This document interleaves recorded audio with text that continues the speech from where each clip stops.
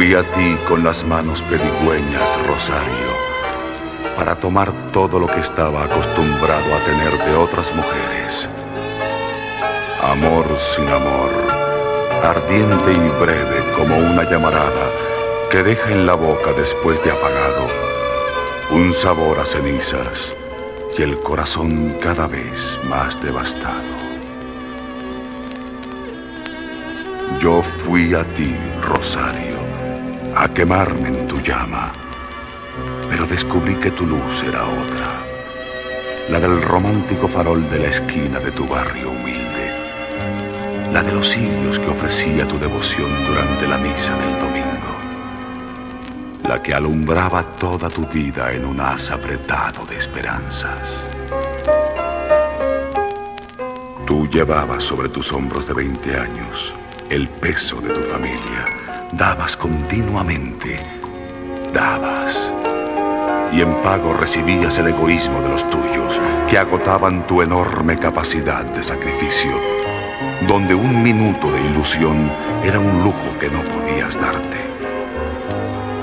Porque tú eras, Rosario, esa muchacha que tal vez con cansancio, con sueño, Caminas airosa con los ojos brillantes, porque el amor puede estar a la vuelta de cualquier esquina.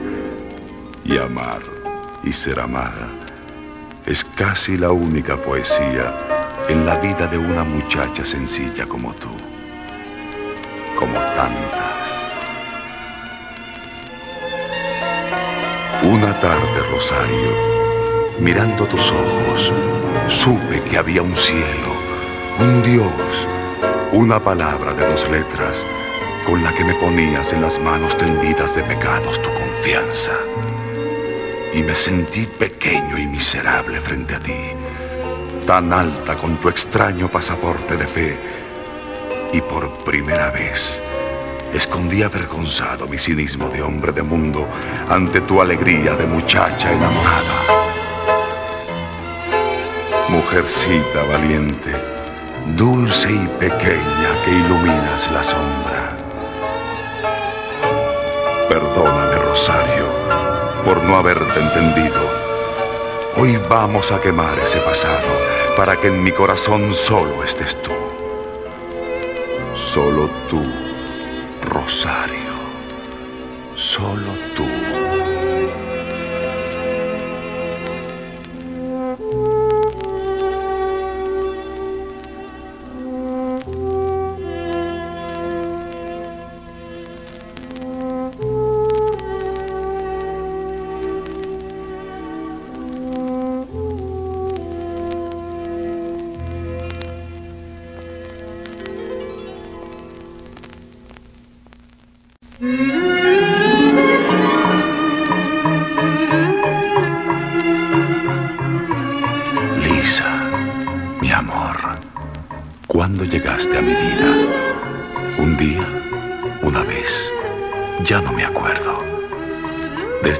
Siempre estabas allí, tímida, diligente, inadvertida detrás de tus lentes y sin embargo tan necesaria. Entonces tú eras para mí solo un objeto, demasiado a mi alcance siempre, siempre. Una noche por tenerte ya toda, ebrio de soledad y de despecho por otro amor ingrato, te hice mía. Te tuve estremecida de pudores, nunca antes besada, nunca antes tu cuerpo deslumbrado de emociones, ni siquiera soñadas. Pequeña sombra ignorada, te dejé partir, para después hundirme en el torbellino de una vida sin horas, sin lugares, sin fechas. Una vida de pinceles rotos y de lienzos arrinconados, donde nada era la única palabra. Hasta que un día, Lisa, encontré tu diario olvidado en una gaveta. En él me decías, No mires mi mano, mira el gesto. No mires mi boca, mira la palabra que tiembla y se esconde. Busca dentro de mí, donde está la fuente secreta de mi ternura, y adivina en mis labios la palabra que lo dice todo. Una palabra corta como un grito, clara como una gota de agua una palabra que quisiera decir de mi boca a tu boca. Una palabra que es como un milagro. Amor. Has vuelto, Lisa, transformada, pero tenías que dejar de ser tú. Tenías además de maquillar tus ojos, que esconder la mirada donde he aprendido a adivinar cosas que antes no supe ver. Porque yo sé que detrás de esa mujer deslumbrante se oculta la misma muchacha sencilla que aprendí a querer y cuya imagen de memoria dibujaron mis manos en aquel cuadro, donde abajo escribí, Lisa, mi amor.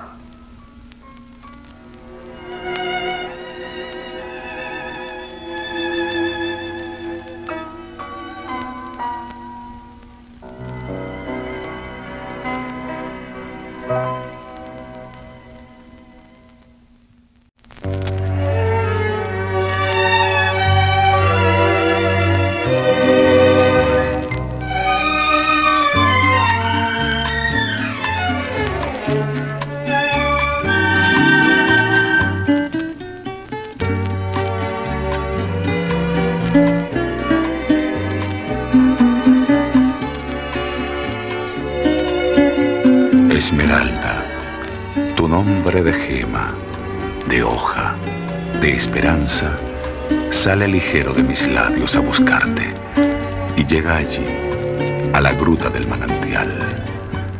En aquel lugar te vi por primera vez, Esmeralda, con aquella mirada de lejanías imposibles que no pude entender. Yo era el cazador, tú la gacela asustada.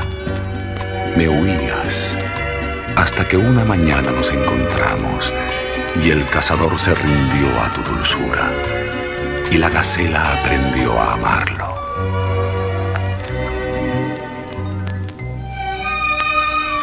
Hubo una noche cálida en que la hierba perfumada fue nuestro lecho. Un lucero se reflejó en tus ojos estáticos. Besé tus párpados y en tu mundo de sombras sonreías de amor.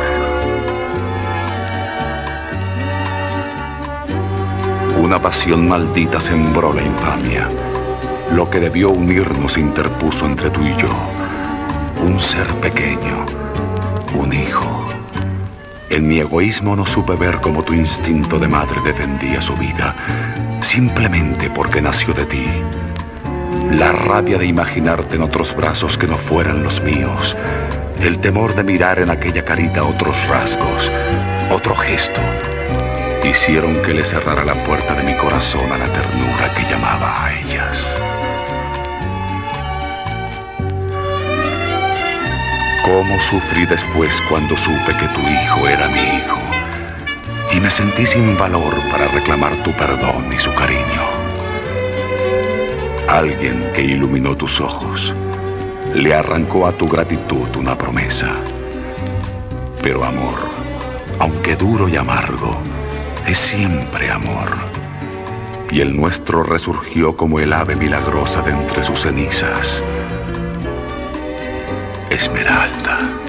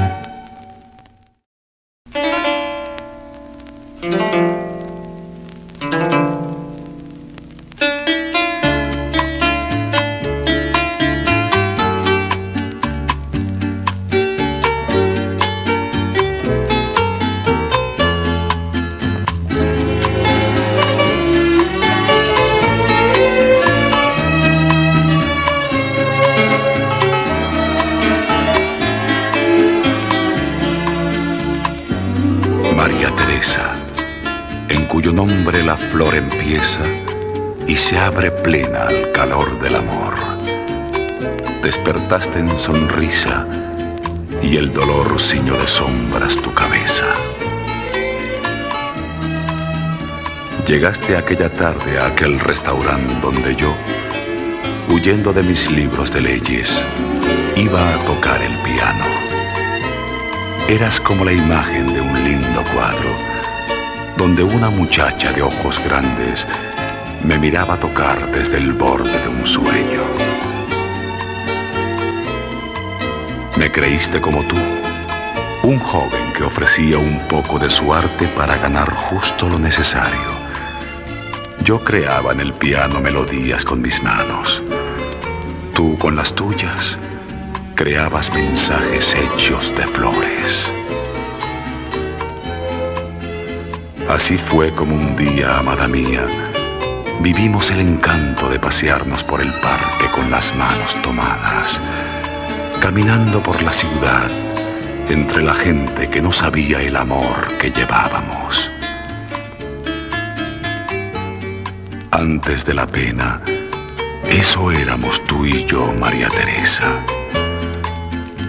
Pero las sombras de la locura te llevaron cuando dejaron tu regazo de madre vacío. Yo cerré el piano y vagaba buscándote inútilmente, imaginando que iba a abrir una puerta y te iba a ver allí donde no estabas. Tú, en el asilo, mecías en tus brazos a una muñequita sin vida y le llamabas hija. Pasaron años, María Teresa. Otro que también te amó entró en tu vida. Pero el amor estaba allí en nosotros todavía y derrumbó los muros que nos separaban. Entonces, el piano volvió a abrirse. Las flores volvieron a llenar la casa de alegría. Y tú y yo fuimos nuevamente los enamorados de aquel día.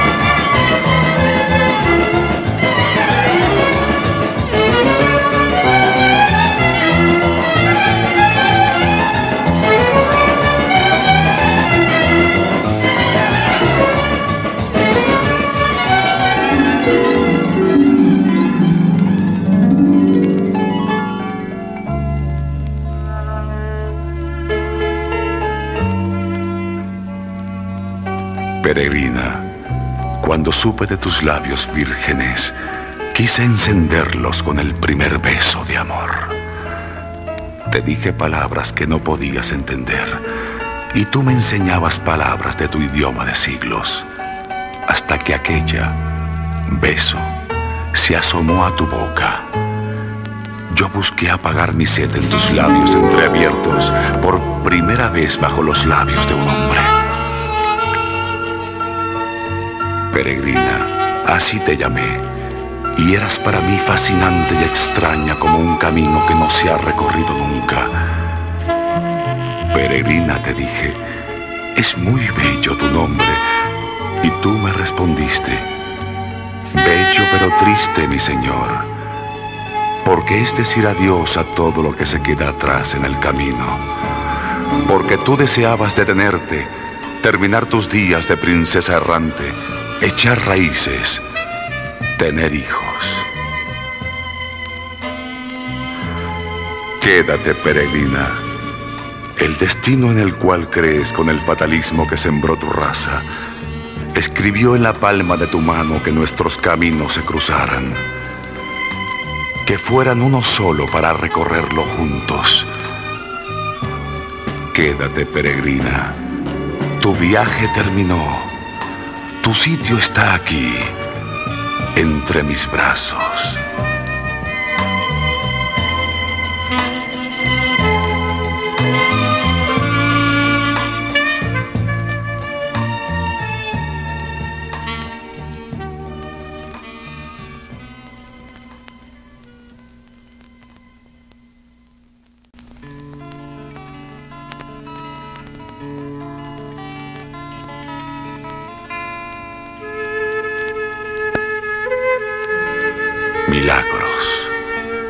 Nombre era algo tan hermoso que parecía imposible. Yo tenía un lugar en mi mundo de estudios, de horas fijas, de responsabilidades y de tedio. Tú en el tuyo eras apenas como una piedrecita rodando de un lado a otro, buscando inútilmente el lugar del cariño. Hasta que un día, ante mi mirada severa, apareció tu figura de muchacho travieso. Chiquilla callejera, rebelde, mentirosa y al mismo tiempo tan inocente y pura. La primera vez que te encontré te quise, aún sin saberlo. Fue Dios quien te puso en mi camino para que tú dejaras una cicatriz en mi piel y yo en tu alma pudiéramos encontrarnos después y reconocernos. ¿Te acuerdas? Fue en el campo. Yo tomé tu amor como se arranca una flor al borde de un camino. Iba extraviado milagros y de aquel encuentro surgió mi salvación. Porque junto al remordimiento de tus lágrimas en mi boca, fue el recuerdo de tus labios frescos de tu piel suave como la de un niño que estremeció mi corazón. Para tu vida de niña sin juguetes, yo tuve mi dulzura. Para tus palabras maldichas y tu rebeldía, mis libros, mi paciencia. Para tu miedo de amar mi madurez de hombre.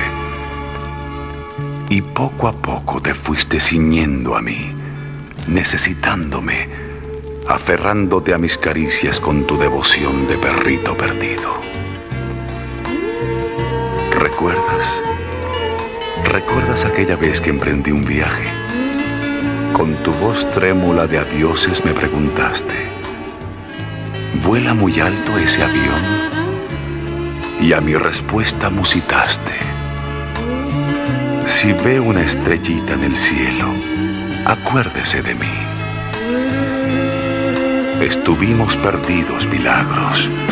Yo purgando mi culpa, prohibiéndome una dicha a la cual no me sentía con derecho. Tú llena de recelos, sin creer en tu nombre, como si ya fueran imposibles los milagros. Y sin embargo, se hizo el nuestro. Aún me parece verlo. Los cirios en el altar encendidos y tú allí al lado mío, vestida de blanco, tan linda, tan mía, milagros.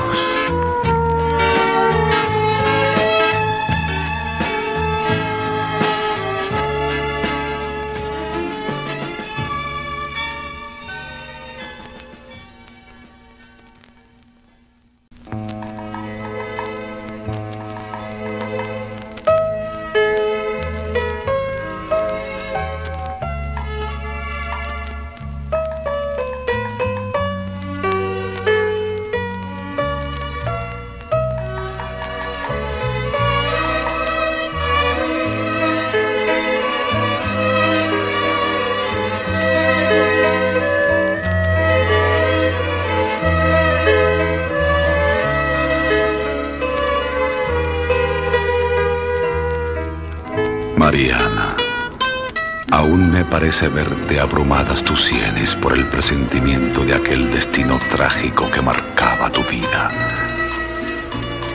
Fue un encuentro en la noche. Yo venía arrastrando mis rencores por un sendero extraviado de venganza y tú huías de la fatalidad que aleteaba en torno a ti. Me detuve preguntándome quién eras y tú me miraste con tus ojos cargados de presagios. Y hubo como una fascinación extraña que nos atrajo fatalmente. No me mires con amor, me dijiste. Un beso mío significa la muerte. Y yo te besé, porque sentí que después de besarte no importaba morir. Mariana, decían que por amarte quien te amaba, estabas condenada a no poder amar tú. Pero los dos inventamos caminos para el encuentro y nos quisimos con una lenta prisa de caricias por una ruta de amor nunca vivida. Pero había un río de sangre entre nosotros y el odio me lanzó por aquella senda tortuosa donde al fin te perdí. Nos volvimos a encontrar una noche, Mariana, con tus manos enjolladas sobre el tapete verde de la ruleta y tu coquetería que me enloquecía de celos y de rabia. Pero hubo de nuevo aquellas noches de locura en que tu corazón deseaba odiarme y me amaba sin embargo más que nunca. Y en cada entrega había una agonía de la última vez un ardiente dolor de despedida. No, no habrán despedidas, vida mía. Nos unen lazos fuertes, hondos como las raíces de los árboles milenarios. Nuestra pasión es como la vida que se renueva diariamente, cada mañana, y culmina en la noche, Mariana.